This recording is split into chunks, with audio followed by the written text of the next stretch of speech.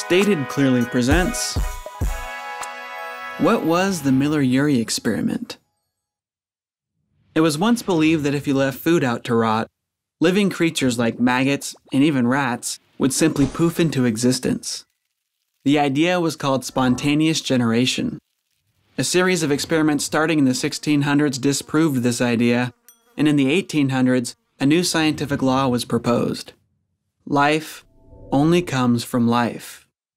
It's true that rats, maggots, and even microbes are far too complex to simply poof into existence, but in 1859, English naturalist Charles Darwin put forth the theory of evolution. In it, he showed that under the right circumstances, relatively simple creatures can gradually give rise to more complex creatures. Given this information, serious thinkers began to wonder is it possible that simple life forms actually could come from non living matter?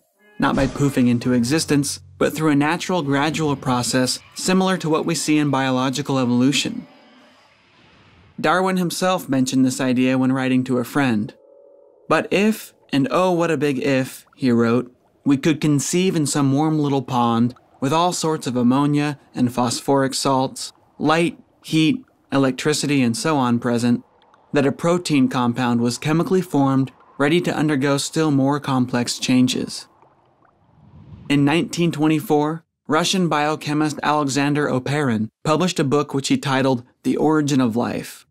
In it, he outlined his thoughts on a gradual progression from simple chemistry to living cells.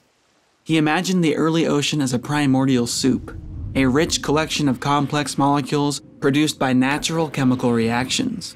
In this soup, further reactions could take place, eventually producing living cells. At the time, Darwin's warm little pond and Oparin's primordial soup were really just speculation. They were founded on a good understanding of chemistry and biology, but they could not be considered legitimate scientific hypotheses because no one had found a way to test or observe them. Science, after all, is the study of observable facts and an ongoing conversation about how those facts can be best linked together. Chemical reactions like those proposed by Darwin and Oparin are not expected to leave an observable fossil record. Without either having fossils to examine or a time machine to travel back and observe what happened, how could scientists even begin to study the origin of life?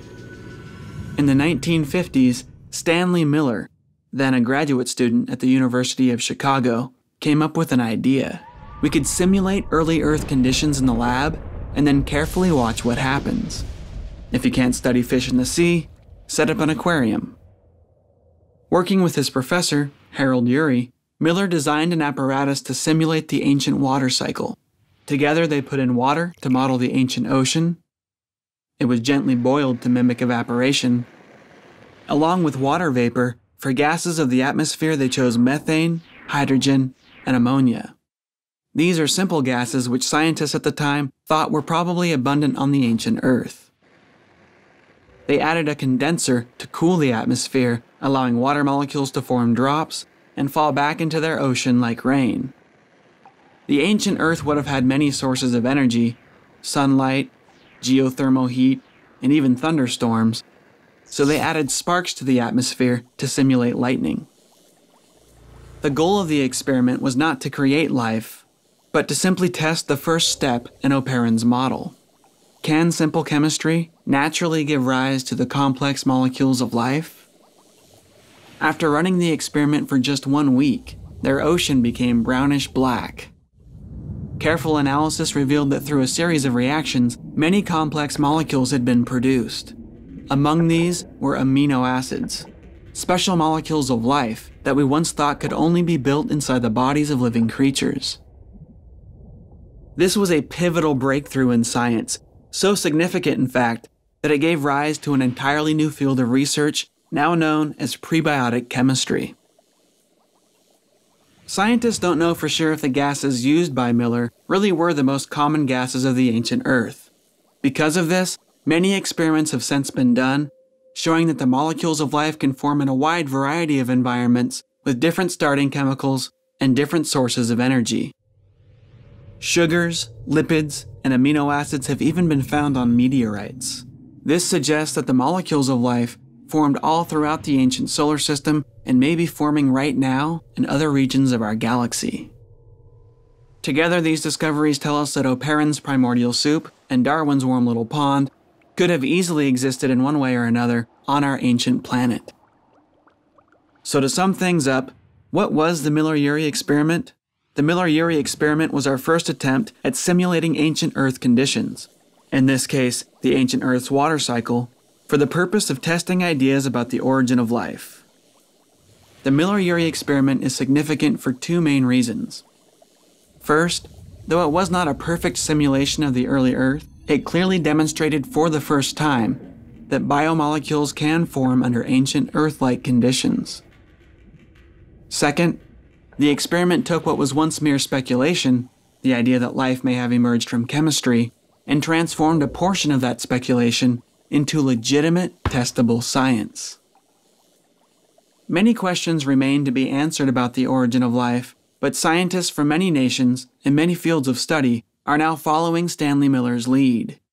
They're finding ways to turn those questions about the origin of life into testable scientific hypotheses. Simulation experiments cannot tell us exactly how life formed in the past, but if enough of them are done, they could eventually tell us if it's possible for life to emerge from chemistry. I'm Jon Perry, and that's the Miller Urey experiment stated clearly.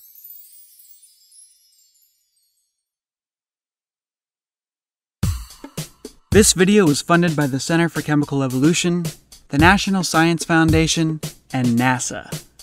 Special thanks to chemist Eric Parker. He volunteered hours of his time going over our script, sending us scientific papers, and critiquing our visuals for this animation. Though we do receive grants from time to time, Stated Clearly is made possible with financial contributions from viewers like you.